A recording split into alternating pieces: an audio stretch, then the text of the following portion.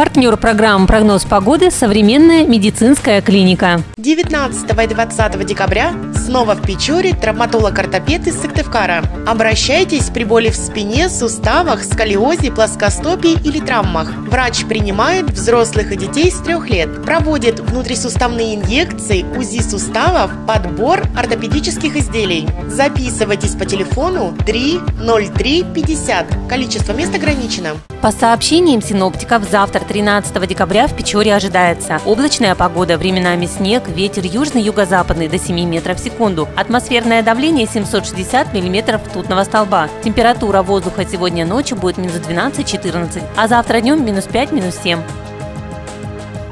Мосты между нами мосты. Песни со смыслом.